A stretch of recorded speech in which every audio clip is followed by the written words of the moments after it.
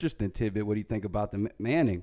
About uh, uh, Arch. Yeah. I'm so ever since I left high school, I ain't really been in tune with high school sports. I mean, I, I heard he's a pretty good player, number one in the country. I'm happy we got him.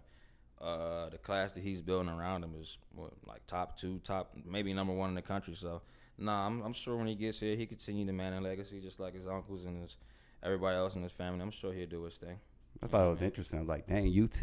Yeah. Okay, let's yeah. go. I mean, I had a feeling that he was gonna come here though. Like the few times that I've seen him, like when he was visiting, like you kind of just get that vibe when like somebody wants to come to a school that you're at. You know what I'm saying? He just seemed like a Texas kid. So, yeah. Do uh, I'm gonna sound corny. Do you and uh, Bijan got like a uh, you know how they had thunder Bijan? and lightning? Bijan, yeah, Yeah. I'm messing it all up. Bijan, do y'all got like thunder and lightning? Do y'all got a name for y'all tandem for yourselves? Uh, we don't even call it Thunder and Lightning. So you know the movie Step Brothers with Will Ferrell and the other, yeah. It, somebody made a meme of that. yeah, so like it's it's pretty much that. Call yeah. Step Brothers. Yeah, That's Step hilarious. Brothers, Yeah, pretty much that.